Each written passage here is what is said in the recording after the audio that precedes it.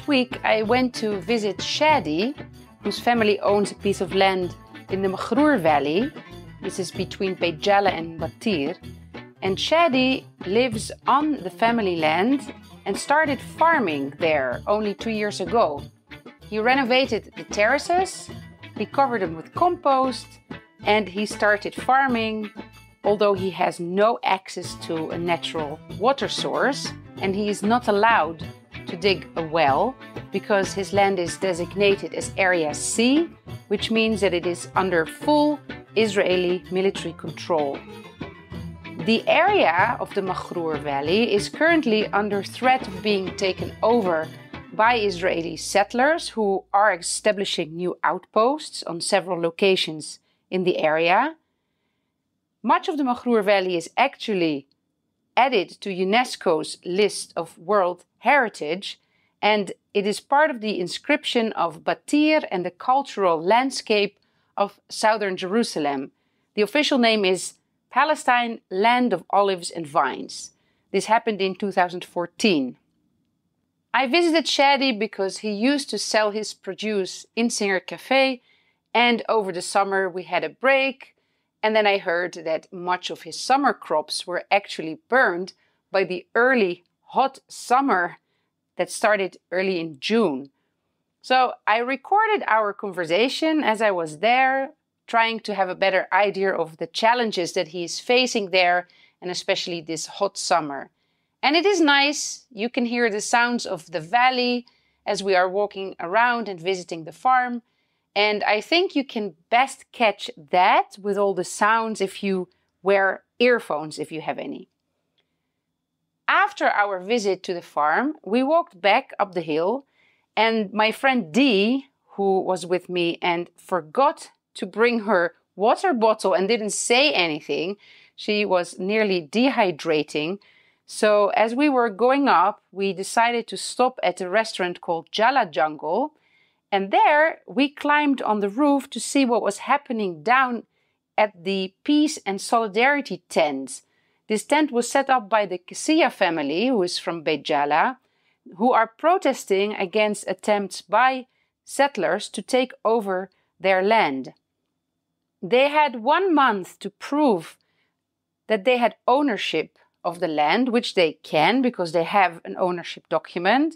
The settlers also had one month to prove ownership, which they couldn't. So the family, after one month of not being allowed on their own land, they organized a peace march with solidarity visitors and also representatives of different Christian denominations, and they wanted to return to their land. We saw a lot of military and police and also some settler cars and we saw a group of about 100 Palestinians and Israeli peace activists and some foreigners and a lot of press who came to support or report on this peace march. Here is an audio account of our visit to the Makhrour Valley. The name Makhrour, by the way, comes from the roaring sound that water makes when it travels down the rocks of the hills into the valley during the winter months. The valley has a lot of agricultural terraces. The land is traditionally owned by Palestinians from Beit Jala, which is on the northwest of Bethlehem, and Battir, which is more to the west. And I recorded two episodes on Battir in March 2021. If you're interested, you can also look those up. Hello! Hi! I'm good getting back used to the hot weather here. yeah, thanks. Like I came back and Tariq told me, no, it's not hot now, Crystal. It was much more hot in the yes, July, yes. beginning of August. Yes, it was. But because Holland was cool, yeah, now it's changing, yeah. But did you have any summer crops at all, or how? What happened? Uh, just under the uh, upstairs there. Yeah. Downstairs, nothing worked out. Oh. The the heat came at uh, very early stage when the plants were like small. Then it was 40 degree and, and they just died. They just died. It supposed to come in August, but it came three months earlier. So What, but what did you have planted down there? uh, a lot of zucchini, zucchini and uh, fakous, uh, khiyar, uh, melons, watermelon, honey melon, uh, pumpkins, uh, corn, uh, bagdonis. So they never even had the chance to grow up, and it was gone. I had about zucchini. I had about 800 plants, and I picked, uh, I think, two. No. Yeah, You- from not- 800 plants. Not even enough to make mercy. oh, that's bad. And what did you have up? Uh, tomatoes. I have the cherry tomatoes. The big ones I had down Also died. also died. The cherry tomato I have I have up. They're good, not not perfect, but good. And uh, yeah, some tomatillos. Are you selling anything or just eating it with the family? Yeah, just with the family and also the grapes. I picked them about four or five days ago. They were like this. They're supposed to Oh, be they were- big. Oh, Yeah. But that is a financial loss also for you. Yes. Yeah, because you invested in the seeds, in the workers, in the water, and now you have no income. Yeah, I'm, I'm making uh, what do you call dibis from the small wine and from the grapes and Yeah. Okay, and are you putting a lot of sugar in your dibis? No. Okay. None, none Great, then I'll buy. Without sugar. Without sugar, I will. Sugar, I I will take it. yeah. Ugh. Uh, some peppers. Oh yeah, here there are peppers. Yeah. Yeah. Red peppers. Not as I expected, or not as last year. Last year they were like crazy. What happened to the berries? Also They- the same story? No, no, the uh, I finished picking the blackberries. The raspberries, yeah, the same story. But the blackberry I finished Okay. when when the heat came. Yeah. Everything was uh, ripe, and then I picked it. But do you is this that's is this a problem all over the over Palestine? Yeah. So all year. farmers are suffering from this? This year, yeah. And and here we I don't have enough water. I have to buy, and it's a lot. It's about two thousand shekels every month, just water, and yeah, Wow. It's a lot of money. just yeah. to to let them survive, not Yeah. yeah, not even to grow up. not even to grow up. So yeah. So does that mean that right now the the vegetables and fruits in the market are mainly not Palestinian local? No, no, no, no. In in Jenin they they have water all the time. But now with the situation in Jenin, are they able to export from there to the south of the West Bank? They Yeah, can? yeah. Okay. So you still, if you go now to the vegetable market and you ask something beladi, you will be able to get. Either from Jordan or from Jenin, Jericho. Yeah. Yeah. Because if they, if you have a water source, it's easier. So Yes, sure. yeah. And there's no springs here that you could tap into. It's not allowed, first of all. It's not allowed to look for. oh, wow. I'm sure there is. Up there, they are. Yeah. And, Yeah. And down for sure. Hmm. If you go down maybe six, seven meters, you will find water. But you can't dig a well. They won't let you? You can dig a well, but not uh, take the groundwater. Yeah. Are you allowed to collect rainwater? I'm collecting. Nobody, They didn't say anything. they didn't say anything. No. I got electricity. Oh, Yeah, oh! Solar cells here. You have solar panels? Yes. Oh, good. Yes. Yeah. Nice. Well, that's good because sun. There's always sun. Yes. So yeah, at least. Okay, great. And what? And uh, uh, now, when with the new plans, with the new settlement, Yeah. Did you see, more uh, action? Are they Sure, passing by more? Every day, every day they're passing by. And what are they doing? Are they building? Are they? They have uh, the containers that are ready houses. Yeah, every few weeks they got one, two in. Maybe 10 days ago, they got two brand new. So they pass by up here with Yes. a huge truck, Yes. and you see the container passing by. yes. Wow. And we're not allowed to do that, No, for sure. you can't build anything new. no, no. And can't bring anything like they are doing. No. Yeah. Do they approach you? They never talk to you. No. They don't come on the land. Nothing. And you sleep here still Yes. with the dogs? yes. I have to. Is the Yeah. one old? The black one? Is she old or? I see No, she's she- limping. She's uh, she fell down a few years ago. Oh. And She's she's very not. friendly. She Yes, is, she's- The other one was jealous that I was petting, and she wanted to be pet. Ah, Very friendly. oh, that's cute. I'm sorry, Shadi, that it went like this this year. So now you get ready for the winter crops, and what will you plant in the beginning? What is the first thing to do? Uh, spring onions, uh, lettuce, uh, broccoli, kohlrabi. Do you do beetroot? Can you do beetroot? Yes, I never did it. Or last year I did some, but yeah, I need to look for seeds. Yeah, beetroot. Carrots. Carrots. Potatoes? Potatoes, Yeah. Cabbage. All of these uh, winter crops. winter stuff. Yeah. And did you have to Leek. Oh, leeks, nice. I like leeks. Yeah. But and did they, they sell.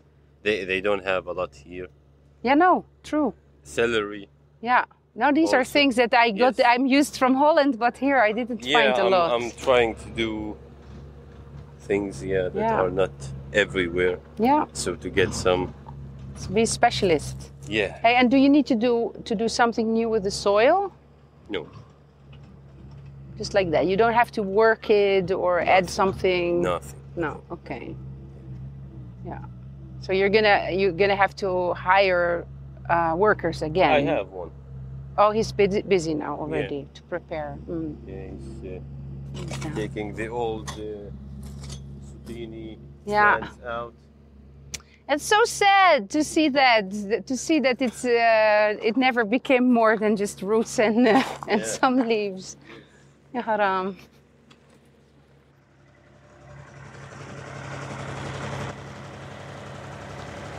Well, it's all limestone.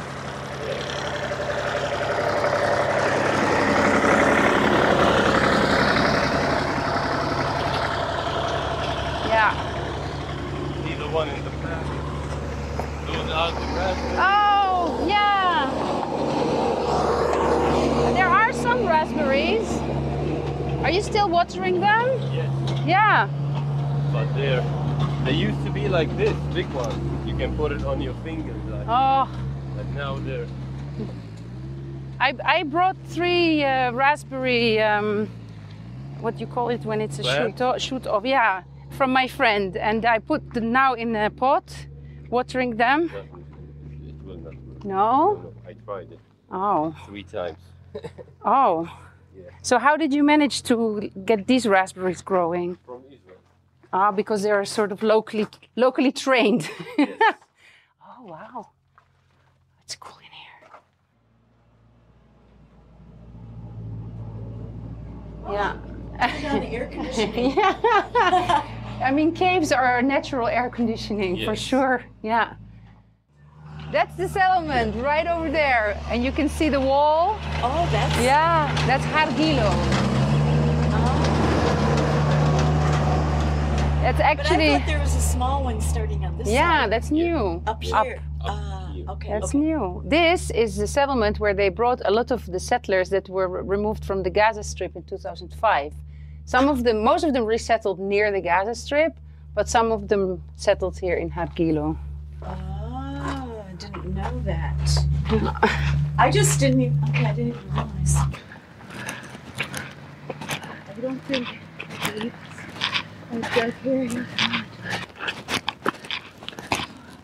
The next turn is Jala Jungle. Do you want more water? Well, have a sip, please. Yeah, we don't need me passing out, right? No, Thanks. take it easy. We don't need to uh, get ourselves into trouble now. So.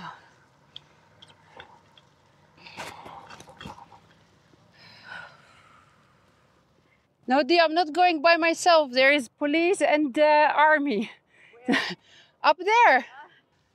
But actually, that's why I didn't want to come down because I was afraid this is gonna. Because now they set up like a a checkpoint and they'll ask everyone.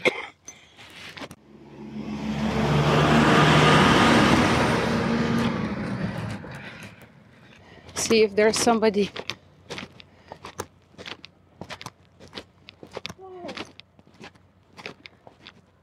It's open, seems open. Oh, it's open. They have some nice ads. Maybe we can have a nice view from the roof on what's going on. Yeah. مرحبا كيف حالكم؟ هلا احنا انا مرحبا والله زمان انا كنت هون مع بهاء الحلو وكلهم واو we, we used to pick uh, زيتون and this yes and uh, now I'm صفافية شكرا I, I married from Beit Safafa so I'm now I'm not صفافية I know. Oh, so I didn't come here since What? maybe 10 years I didn't come Oh here. yeah, I was busy with the kids. But now they are here. now they Talita, are bigger. 10 and 8. Hadi and Louisa, they are Oh, yeah. called, yeah. Hello, Sandra. Oh, she's very thirsty. She went out without water, so she needs money. Yes. Sandra, Sandra. The money. Yeah. Maya. Uh, is there, can we see from the roof what's going on with the tent down? There's a lot of That jade. lady, they take him out. Ah, can, but can I go up to see what's Yeah, going yeah, on? yeah. From where? So I'm now up on the roof of the restaurant and I can see a tent with the family and a couple of people singing and carrying crosses. The soldiers are stopping the family from walking and um, there are. Yeah, I can see. Yeah, I'll tell you. I'll tell. Yeah, from this ladder. So it's not easy. Yeah. Uh, yeah, there are also some Israeli um, activists, it seems. And um, the, I have three soldiers down from me, looking around and blocking the road. So I'm happy I did my car up on the road. So uh, later on, I'm able to move if they keep blocking the road here. But um, they have uh, or are giving a um, press conference at the moment talking about the situation of their land and uh, they claim to have property rights to the land. And settlers uh, were given time to prove that they have property rights but uh, so far as i understand they couldn't prove it.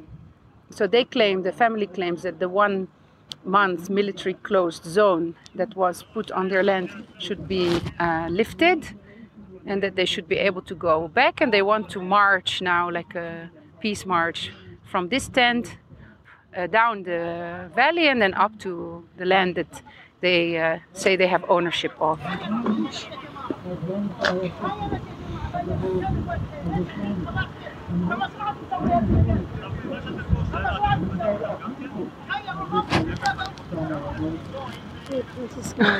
Where is the land they're talking about? Uh, it's when you follow the road down where we just the junction that you see over there when you start going up it's somewhere there on the right. Or is it all the way up? The, their land is it all the way up where you see the construction? This beacon of yeah. Iowa okay. So it's more to the down more to the right yeah, Yeah. There used to be a restaurant they used to have a a restaurant Over there. there? Yeah. Ah. And they they demolished it and then they rebuilt something that was more like a tent restaurant and also they came and they demolished it. So they've been here for a few years. Yeah, at least uh, since I come to Palestine 15 years, I know about the, uh, this place.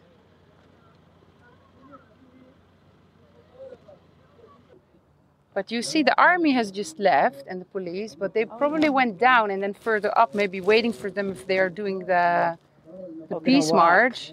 Because there's still the white down there. Yeah. And also, if if they go to the land, I don't know if the settlers are there, but if the settlers are there, then they will, That could be a problem. yeah, they will have to stand between the settlers and these protesters.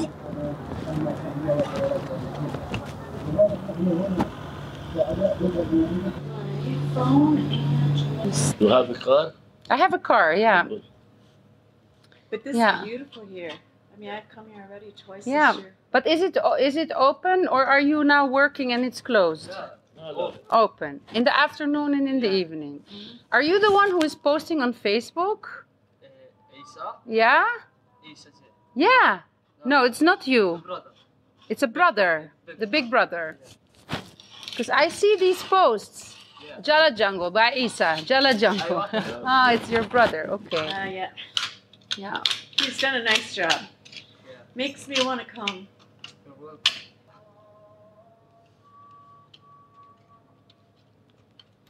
Is there somebody here uh, over in the night also? Yeah, yeah, yeah. You need to keep, are- to stay here. here. We are here all time. Yeah. Well, you can even camp here, right? Isn't there one place to sleep or you have two? One. One.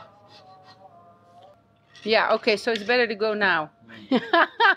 Oh, there's going to be a Yeah. Go problem? down, go No, we're not going down. We're going We're up. going Go up. slowly. The street is not لا, good. we're not going down. We're going up Up where? to my car. We were already. رحنا على شادي Ah, وبدنا okay. نطلع هلا. You have to go go now. أحسن. Okay, goed. Okay, okay, Okay. شكرا. So we see you next time. We come for a beer. أهلا وسهلا. You have beer? What? You sell beer? في بيرة? Yeah, yeah, yeah. Okay. Yeah, everything. here. أهلا. Yeah, really, their food is delicious. I've been here many times. شكرا. You, you know,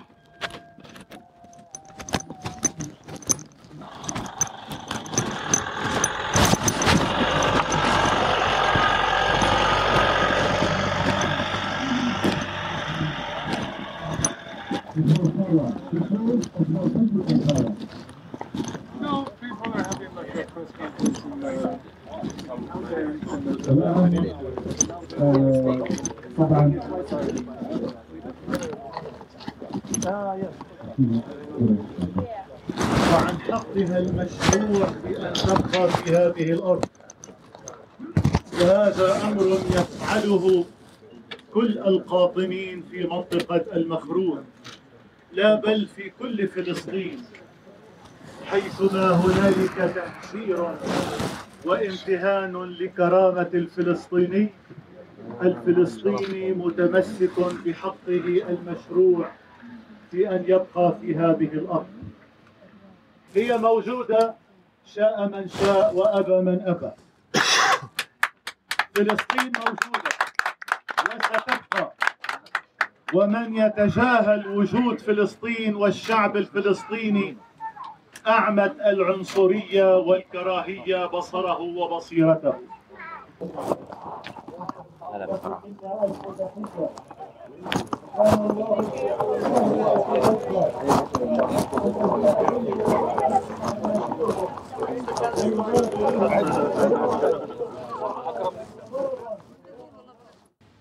Since Dee and I had to leave early from the Makhrour because Dee was almost dehydrated, we don't know what happened after the press conference. I'm sitting here with Amira, who is going to tell us about the press conference, what happened afterwards, and what is the update of today for the situation of the land of your. It's your family-in-law, right? My, yes, yeah. my ex family in law. yes. So, good morning. My name is Amira. Um, Alice Kisiya, who you saw on social media, is my sister in law. That's how I'm related. Um, I have a son whose name is Ramzi, Ramzi Kisiya Jr. So the, the grandfather is Ramzi Kisiya Senior. Senior. Yes. Yeah. So um, let's say about the day of the conference, we had a press conference. Many people came from all religions, from all faith. Even member of Knesset uh, from Israel, Ofer Kasif, came and he gave also a word there. He's been very um, supportive to us. He was coming uh, almost every week or two weeks and uh, going with us to the land, inside the land also, to show support. And he used to talk uh, with the army and tell them that what they are doing is wrong and illegal because those settlers don't have any paper, any piece of paper. We have papers from the Israeli court, from the civil administration. They don't have. Anyway, after the press conference, they all went the priests, the rabbis, the sheikh, uh, uh, Ofer Kasif, and others uh, like uh, from different organizations, local and international, like uh, Sabeel. They had a delegation from the states, politicians, uh, and uh, also religious people. They walked all the way up to the land. And on the way, the army was waiting for them. They did a small protest. They sang, they prayed in front of the army because they couldn't go further to the land. They stopped them. And if they tried to go further or, you know, they uh, uh, a little bit pushed uh, around, they would have uh, you know, uh, got beaten like what happened uh, with us previously. So they just stayed there. They protested. They said words. They prayed together in different languages. They sang different songs also. And then they came back. And like this, the press, co- press conference ended. After two days, we were surprised by uh, 60 soldiers coming from up of the hill from, from like uh, on the entrance of Al Makhrour where Ricardo is and they entered walking 60 soldiers we counted them and they uh, demolished our uh, solidarity tent they took it away. They even uh, released our dogs who were there attached to chains. They released them in the, you know, in the Al Makhrour. Until now, we can't find them. You know, they got lost. They took everything, our um, fridge, uh, the mattresses, like everything that we had. And they gave the family only, like for Alice and her mom, dad, and brother, another military order, which is only for them that it doesn't allow them to enter Al Makhrour, all Al Makhrour now, like from Ricardo all the way to their land. They are prohibited to enter the Al Makhrour as a total, and they took the Solidarity camp, and now they cannot access there. But we will not stop. We promised them, and we promised everyone who was with us or against us that we will not stop. Nothing will stop us even uh, closed military area order will not stop us. What we did, we went virtually now. We created a a group, a global group from all around the world, from all the countries of the world. Like we have, like literally all the countries of the world, people gathering together. And on the 29th of September this month, we will be holding around the world a global prayer time in solidarity with Al Makhrour and also in solidarity with the Christians of Palestine, because people around the world don't know anything about us. They don't know even we exist. And they also think that this war and this occupation and this struggle and this conflict, call it whatever you want, is against uh, Muslims or between Muslims and Jews. And this is not true, absolutely not true. We are Christian Palestinians. I was born in Bethlehem where Jesus was born. I'm a Christian from a Christian family. My father is a historian who was able to go back to my family history to like um, 1,600 something. And we were there. And even if we were able to go back before, we know that we are there and we were never converted to Christianism. We are Christians of this land. Maybe we are related to Jesus somehow. great, great, great, great, great, great granddaughter. no, Jesus didn't have children. Maybe relative. Relative, yeah. so yes, so so you know, people don't know that that this conflict is is not against religion, is for taking more land. It's about colonialism. It's about apartheid. And that's what uh, the occupation is doing. It's just taking more land and more land. Even if you come to Bethlehem and you see the apartheid wall and how it's, it's formed, it's not like a, you know a rectangular going around the city and you know uh, putting us in the middle. No it's like a zigzag you know going around and just to take more land to take more land. And uh, and al makhrour this is part of the bigger map of uh, the great jerusalem. That's why they wanted to connect the settlements in the south, like Gush Etzion, Beitar Illit, and all of these uh, settlements, and Efrat and Tekoa, and all of these settlements in the south, all the way with Jerusalem to, to create the Great Jerusalem. This is a plan that was started really long ago. And if they take the Al Makhrour, that's what they will do. They will connect everything together, and we would be literally in an open air prison as uh, Bethlehemites, people who live in Bethlehem. We will not have any access, any any any place to breathe.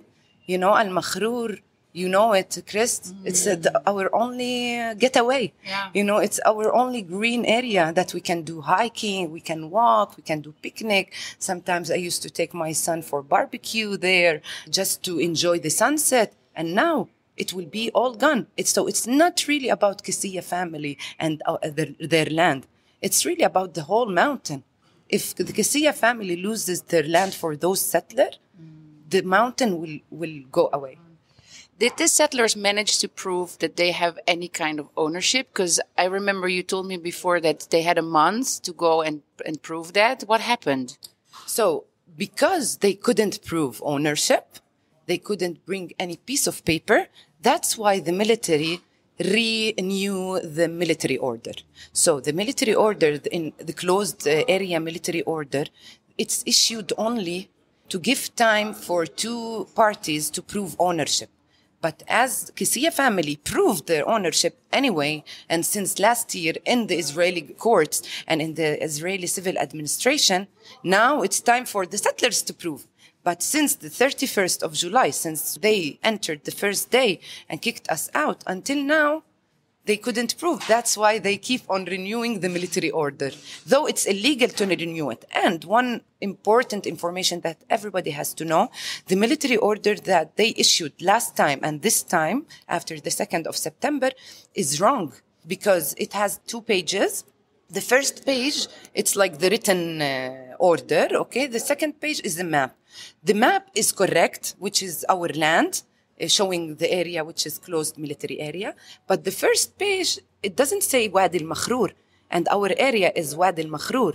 Our mountain, our, even we proved that in maps since 1944, we brought maps to prove that this area is called Wadi al-Makhrour or al-Qsir. The military order, because they cannot order it there because there is nothing wrong there. So what they do, the first page, it says 31st of July until the 2nd of uh, September, it was for Wadi Haletz, which is another area nearby in Al Battir land, which is where they will build the settlement, the new settlement in Wadi Haletz, or Nahal Haletz. That's how they call it on the paper. It's not Wadi Al Makhrour or Nahal Al Makhrour, you know? So, and, and Ofer Cassif, when he came, the member of Knesset, he was telling them, like, this is wrong. Give us a new order and we promise you we will not arrive here. We will not come to the land.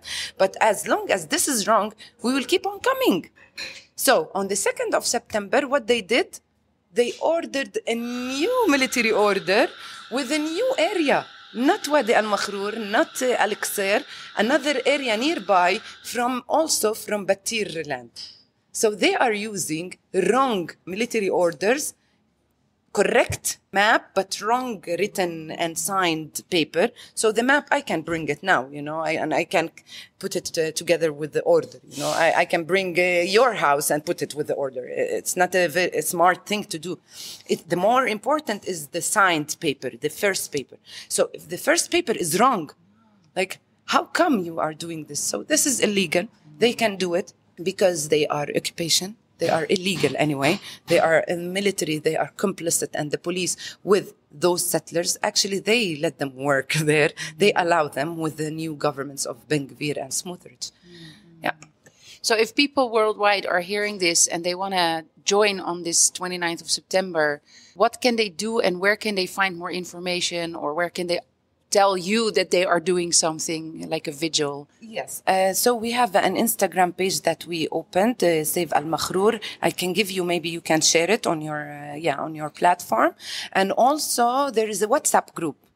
So in th- this WhatsApp group, there are like groups, different groups. It's a community. So when you enter to the main chat, the global chat, and then you choose your country. And then you enter to your, your country and then you see when it's happening, at what time, if they need help, what help they, do they need, if you want to help, if not, you know, so I can give you the link and you can share it with your audience. Sure. Okay, great. I will add that to the show notes. Thank you very much, Amira. Thank you and have a lovely day.